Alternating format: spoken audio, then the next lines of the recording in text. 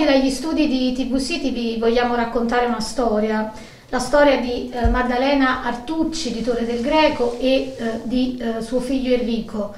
Una storia eh, di dolore, una storia di disagio, un dramma per eh, questa famiglia e soprattutto per questa mamma che oggi ha il coraggio di essere qui, di raccontarci la sua storia, di condividerla con gli altri e eh, di aiutare anche gli altri a, che si trovano nelle stesse situazioni. situazioni. Uh, il figlio di Maddalena Enrico uh, è affetto da tempo da disturbi psichiatrici e uh, Maddalena si trova costretta quotidianamente ad affrontare numerose difficoltà per questo, soprattutto perché spesso manca la continuità nell'assistenza, perché spesso chi sarebbe deputato ad aiutarla purtroppo non riesce a far fronte alla situazione. Maddalena, Raccontaci il dramma che tu vivi tutti i giorni. La situazione poi si è aggravata ancora ad agosto, peggio ancora, e con i medici che non c'erano. Il mio medico di base che era morto purtroppo, il dottor Ragasson a novembre, e una peripezia che tu Antonella sai e mi ha aiutata anche allora. E per avere un medico. Enrico è seguito dall'ASL? Uh, diciamo che è stato seguito saltuariamente dopo la Pinarella perché non ci sono medici al Bottazzi e non ce ne saranno altri secondo me. E tante persone stanno al mio livello, per questo sto anche qua, non solo per me. La mia è importante come storia, ma forse qualcuno può penetrare nella mia, chi sta nella mia stessa situazione non ha il coraggio di poter parlare. Provi una sofferenza sia a vedere Enrico certo. affetto da questa certo. malattia da anni, ma giustamente ti preoccupi per la sua incolumità, incolumità. e per quella per... anche delle altre persone. Eh sì, poche settimane fa mio figlio si è avvelenato. Uh, ho chiamato l'autoambulanza di corsa perché abbiamo nascosto i medicinali, li teniamo noi. E non so come ha fatto a scoprire l'N, le scatole da due milligrammi li ha presi tutti quanti. Anche ho chiamato l'autoambulanza, da cui me ne sono accorta e mi fanno al telefono c'è medico, fra due o tre ore ve lo mandiamo, l'autoambulanza. Aspetto le due ore e mezza, le tre ore arrivano. Arriva un ragazzo, un infermiere e un portantino. E come entra dalla porta questo portantino, e testuali parole, lo devo dire per forza, uh, io, sa io, sapevo che era sto cretino scema che chiamava. No, non stai chiamando su scemo, ci stai chiamando mamma. Cioè a questo punto qua che vi devo dire? Va vattene. O se no, se non vuoi fare il tuo mestiere, vattene. Ed è una situazione assurda che in un'ambulanza non ci sia un il medico. medico. Abbiamo, abbiamo che hai vissuto tu. Non è la prima emergenza, ti dico altre volte abbiamo chiamato per l'emergenza che Enrico ha tentato, perché tre giorni dopo Enrico si è tagliato la fronte piena di sangue, sono venuti i carabinieri a casa. Sentono pure loro tutta la tragedia e mi dicono vabbè passiamo alla polizia municipale.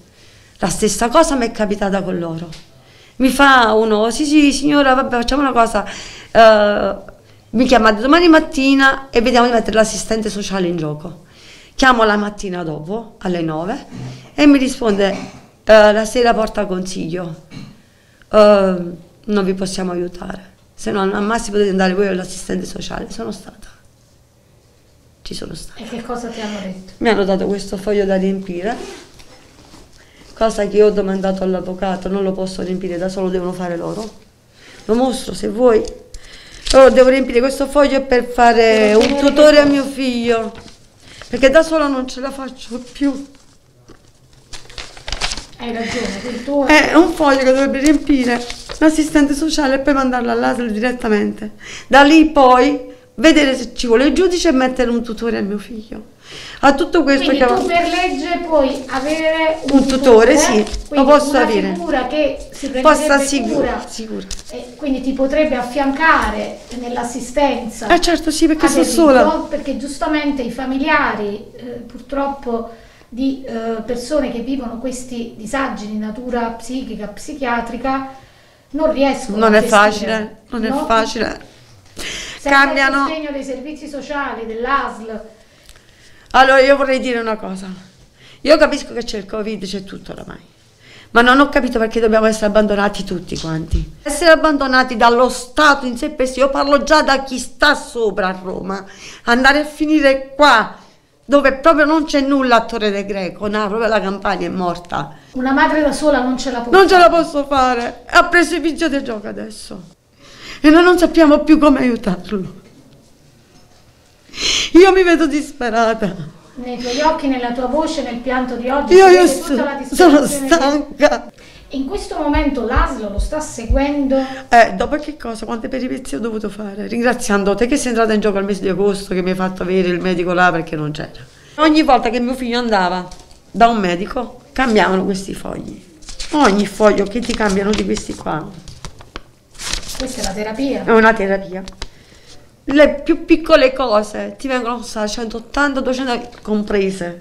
Perché non le passa all'ASL, questa è una- un'altra cosa assurda che io non Quindi concepisco. lui deve prendere dei farmaci che non sono prescrivibili. No, non sono prescritti, ci sono prescritti e alcuni no, però costano tanto.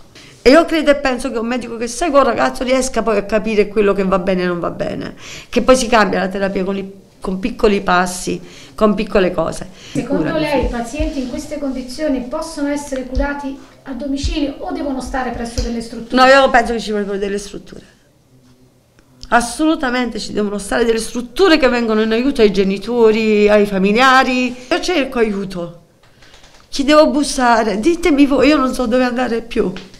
È vero, mi diranno domani sei stato sui giornali, si fanno la risata. A me non mi importa. Forse potrò aiutare qualche altra famiglia, qualche altro ragazzo, qualche altra ragazza che sta nella stessa problematica. Io do Ci voce sono a chi non ci riesce. Di dolore che magari sono eh, tra le quattro mura domestiche. vengono nascoste per vergogna, per paura. Vi dico una cosa, abbiate il coraggio di parlare perché solo così potete, potete andare avanti. Io chiedo aiuto, un appello proprio grande, iniziando da Roma e qualcuno, il ministro della salute, che venga qua. Perché io sono andata anche da Giovanni Palomba, non si può entrare dal sindaco. No, no, i cittadini non li vuole. Arriverà a darci una mano prima che mio figlio ci muoia in qualche cosa. Noi ci auguriamo che come emittente televisiva possiamo aiutarti.